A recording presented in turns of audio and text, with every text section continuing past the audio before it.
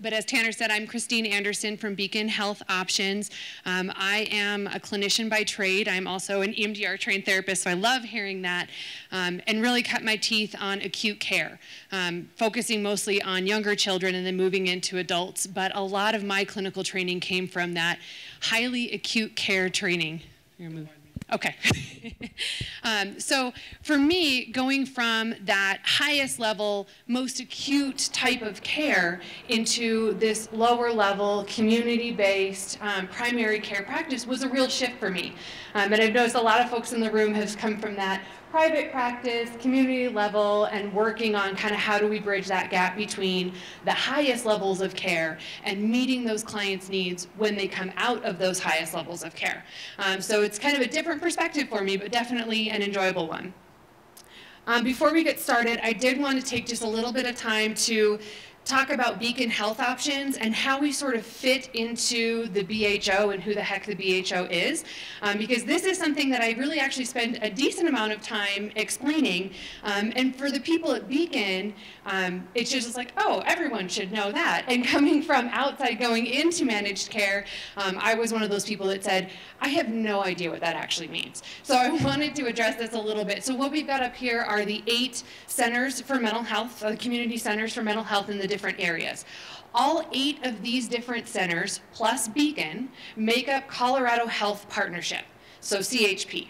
CHP is the BHO not Beacon. So that's one of the things I always like to clear up is that, you know, we're often associated as Beacon is the BHO, but it really is a partnership between these eight community mental health centers and Beacon. So it's a really unique setup. Um, the other reason I want to take the time to explain this is because this is how our programs are funded. Our, fund, our programs are funded through this partnership of these eight mental health centers plus Beacon, and we'll get into that in a little bit. So I do want to um, talk a little bit about why integrated care and why psychiatric access programs. And some of this is probably going to be redundant from some of the great presentations we've already had, so bear with me. Um, but one of the first primary pieces we have to talk about is the psychiatric shortage. Um, and not just in the state of Colorado, but really across the nation. But because we're here and we're serving the population here, um, we do want to talk about that real extreme shortage that is pushing a lot of these patients into the primary care setting because there may not be a psychiatrist available whether they need it or not. Or the closest available psychiatrist is hours away. And maybe that client or patient has transportation issues. So getting to actually see that psychiatrist is a real barrier. And so there's lots and lots of layers to this. So this is one of the reasons that we worked on kind of integration and um, psychiatric access programs. So we've talked a lot about this, but primary care is the gateway. It has become the de facto treatment setting for clients in mental health issues. Um, and it's for a lot of reasons. And it's not necessarily that people mean to go to their primary care professional for mental health reasons, but that's their trusted provider. That's who they see for their wellness checks. That's who their kids see for their annual visits, their immunizations. That's who you go to see for your referrals to another specialist. So it is the landing place and that kind of gateway for a lot of these patients to get to other care. Um, and really, the primary care providers are the people who are there for those patients throughout their lifespan. Um, it's very common that a whole family comes into a practice, and you see that whole family through their entire course of life. They trust that practice. They trust those providers. And even when maybe a primary physician retires or moves, they'll continue seeing that practice because they feel comfortable. They feel safe. They trust those people from the front door to the back door. They know the nurses. There's a reason that those clients keep going there. So they trust those providers when they say, I think we need to work on some behavioral health. I think we need to work on, you know, whatever it is. So there's a real inherent trust in that relationship. So primary care being that kind of gateway, um, we, we already addressed most of those, so I'll skip a couple of these if they're redundant. Um, so understanding just how impactful um, physical, mental health is on physical health is really key to understanding why we should even care about integration, why we should even bother with this.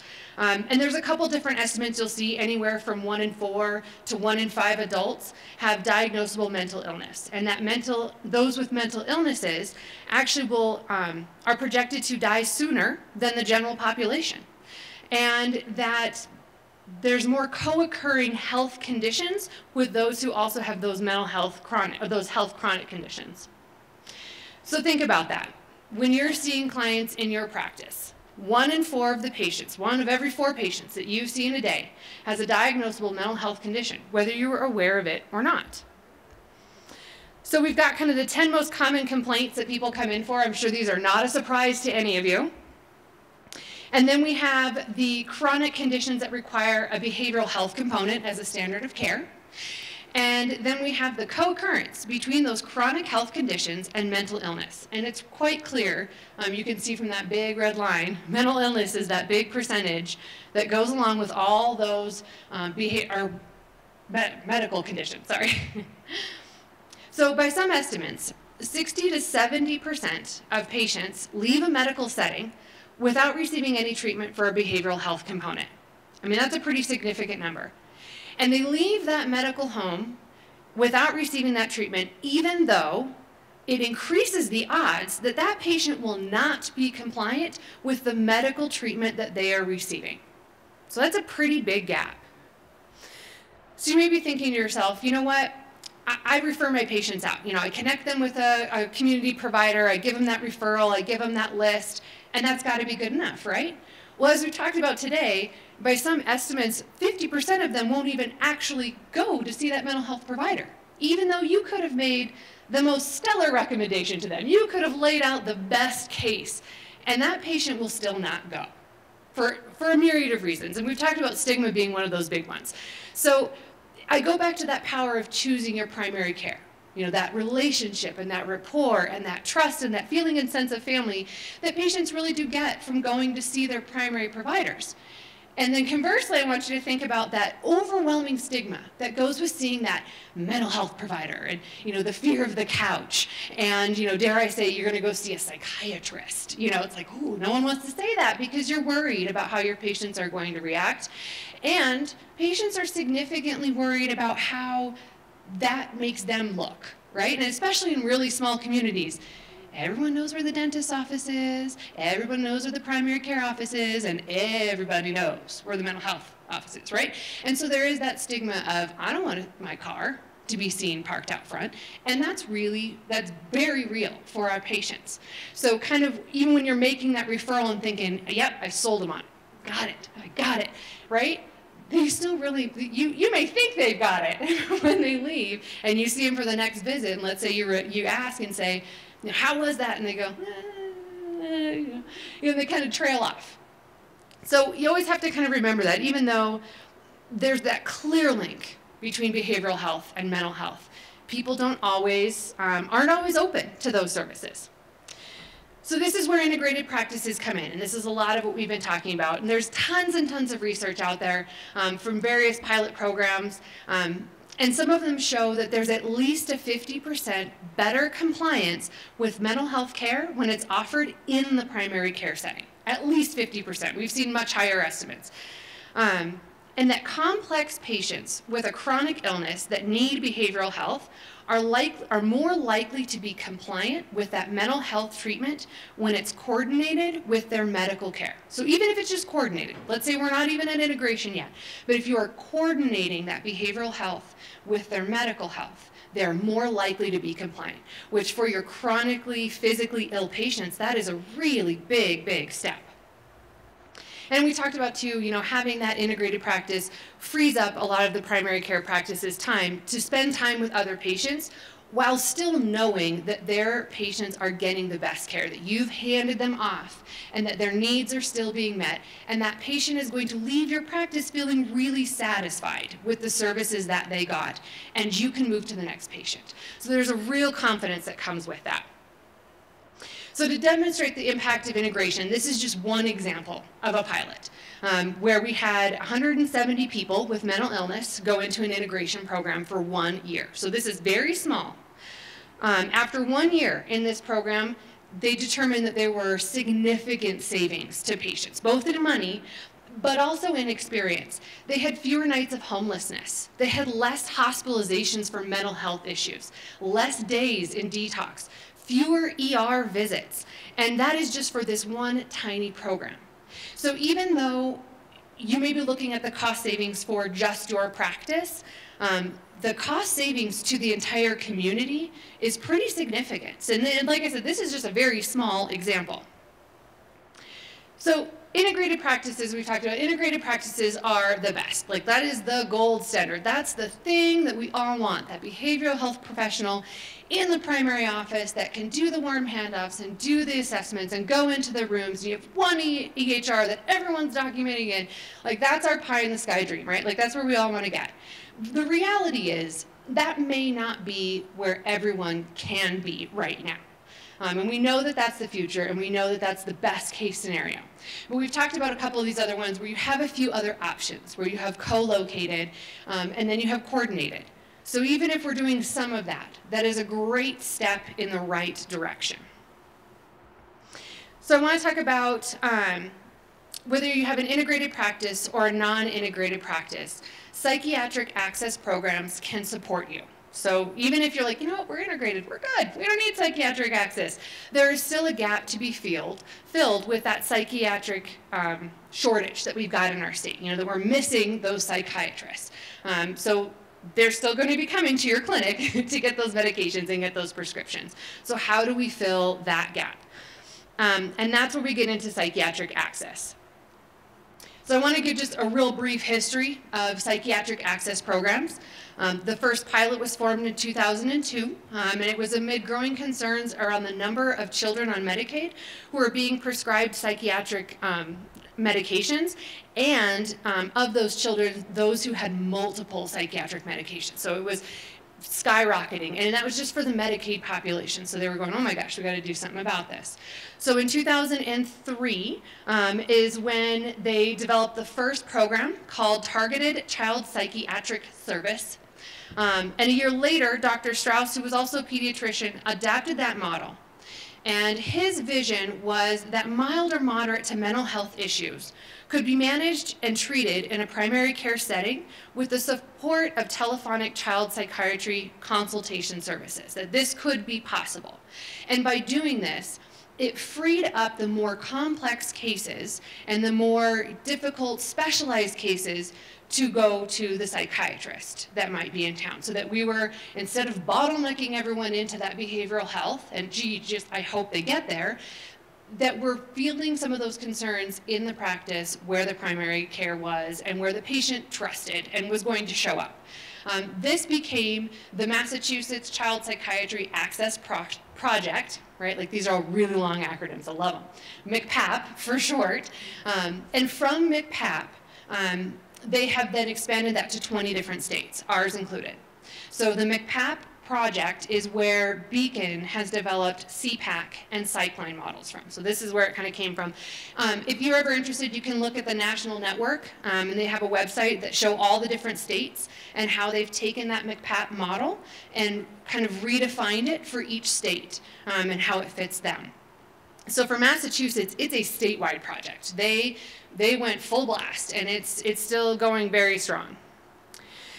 So these are the two programs that Beacon administers. The first is CPAC, and that's Colorado Psychiatric Access and Consultation for Kids. So this is the kid version. And then there's Psychline, which is the adult version. The biggest difference between the two of these is where they're available. So that first map we talked about that had the 43 counties on it, CPAC is available for all 43 of those counties. So if you're in a primary practice in any of those counties, um, you can be a CPAC practice. Psychline is a specialized program, and we partnered with the Center for Mental Health to develop this one um, because they came to us and said, hey, we love CPAC, but we need something for adults. What can we do? And so it was a partnership with the Center for Mental Health. So Psychline is available only in those six counties that the um, Center for Mental Health covers.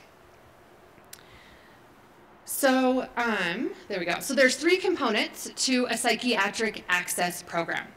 So the first one is a psychiatric consultation. We frequently call this a curbside consultation. Um, it's a little bit easier to say.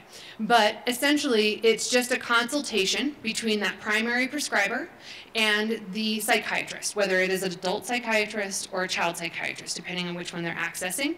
Um, it provides them rapid access um, to needed resources. It reduces that demand for subspecialty and referring out and those types of things. Um, the the consultation can be on the spot. So we will call, they could call and say, hey, you know what? I just had this patient show up and they were showing up for, you know, a cough. And then they tell me they're not sleeping well and they don't feel like their antidepressants are working. And I've done this, this, and this, but what do I do next? Where, where's my next step for this patient? What, what, what do I need to do? So they can call us and say, hey, I need, a, I need a consultation. I got someone here in the office. And we can usually get back to them within 30 minutes. They can also, for like the integrated models that do those morning huddles, you know who you've got coming in the door. So you may actually know in advance, hey, this patient is not sleeping well, they're not eating well, they're on an antidepressant, they say it's not working, that's why they're coming in today. I'm probably going to need a consult because I'm unclear as to what to do next, or I think I know what to do next, but I'd love a second opinion. So they can say, hey, I got this patient coming in. Can I get this consultation in advance of that patient? And that makes that appointment that much more efficient when that patient comes in. You can say, all right, this is what your complaint is. Um, here's where we're at. Here's what I'm recommending and it makes it a little bit more fluid. So those are the two different options with that. The consultation time itself takes anywhere, we say five to 15 minutes. It's generally closer like seven to 10 minutes. Um, so it's a real quick call. You know, physicians tend to be pretty, pretty straight and to the point. Here's what I've got. This is what I need. Here's my symptoms. And our psychiatrists are the same. Here's what we've got. This is what I recommend. Here's a couple options for you. The second component to it is the behavioral health referral. Um, we call it care connection. So this is available um, for when you you do need to refer someone for behavioral health services. So either you're an integrated practice and maybe they've run through their sessions, right? And you need some help referring them, or you're not an integrated practice and you would really like it if they would actually go to their behavioral health appointment. So this is a great way to sort of bridge that gap between the actual warm handoff of an integrated practice and being able to get someone to that appointment. So the way that these work um, is the, the practice just calls CPAC and says, hey, you know what, I need a behavioral health referral, here's the information, and then we get all that information and we contact the parents directly and we say, hey, what do you need? What can we help you with? Tell us what's going on. What kind of provider are you looking for? Do you need a male provider, a female provider? What part of town are you in? Where do you want that provider to be? Um, for some of our rural areas, there's not as wide of a selection, and that narrows down our, our questions, right? So we might be a little limited there. Um, but for a lot of those patients, they're used to just getting a list and saying, well, here's your insurance, here's your list. Good luck good luck, right? And it, it might be updated, you know, it, if you're lucky, um, you know, and they might still take that insurance or they might still have openings.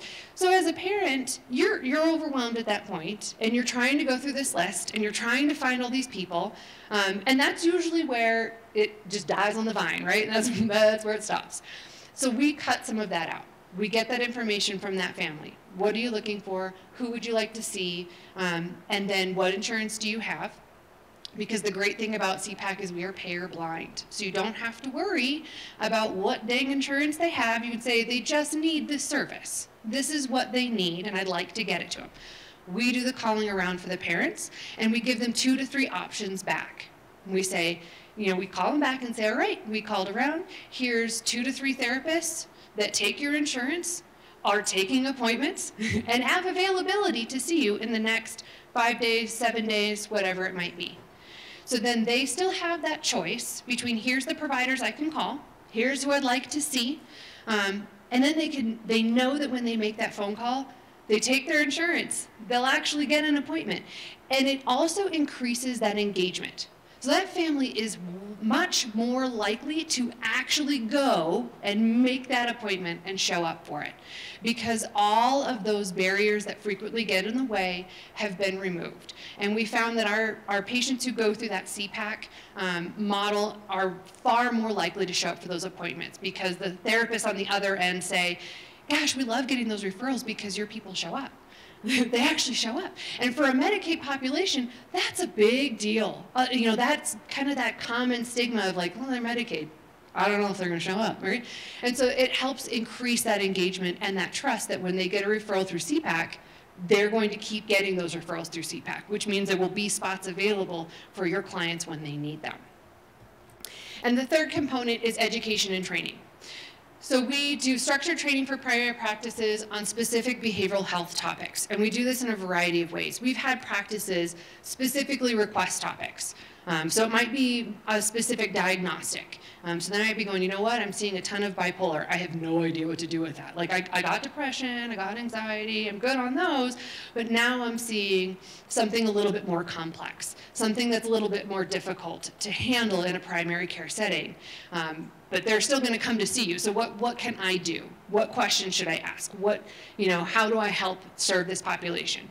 Um, the second component is that we do um, training on the psychotropic medications. So we actually utilize our teleconsultants to do that training. So a lot of the primary practices might say, you know, I, I got it. I got the diagnostics of it. I can recognize it. I got the assessment. I'm good on that. I have no idea how to medicate that. Or I have a couple of the basics, got that, but if I go beyond that, I'm not as comfortable. Um, and so we can then bring our teleconsultants in and we can do a, an on-site training. We've done them by phone, we've done them by you know WebEx, we've done them in a variety of ways. Um, we do them over lunch so that we're you know infringing on your lunch but not your patient load kind of thing. Um, so we do that in a number of ways to help those practices practices because a lot of times they know these patients are going to come see them. Like they're going to come see you anyway, so what can I do to better improve my knowledge to serve who's coming through my doors? So those are the big three components of a, a psychiatric access program. Um, and there was a little mention the first two years that Beacon did this, it was under a grant. Um, so we had lots of great data that came from that. It was fantastic. Um, some of the high points, 89% um, of the primary care physicians screen more patients 87% of them used more screening tools, and 88% of them were more comfortable addressing behavioral health issues in a primary care setting. 64% of them collaborated more with behavioral health specialists than they had prior to that two-year study.